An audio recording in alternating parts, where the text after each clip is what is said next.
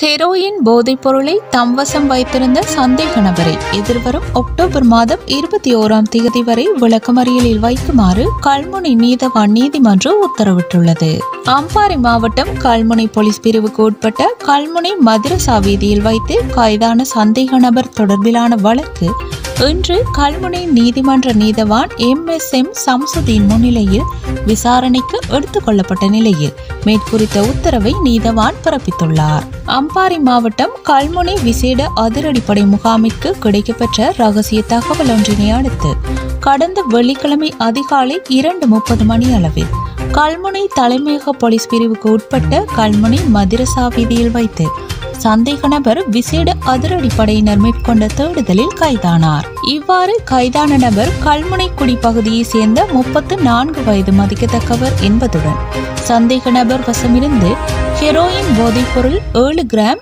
எண்ணூற்று எழுபது மில்லிகிராம் உட்பட சந்தேக நபர் பாவித்த கைத்தொலைபேசி என்பன விசேட அதிரடிப்படையினரால் கைப்பற்றப்பட்டுள்ளது.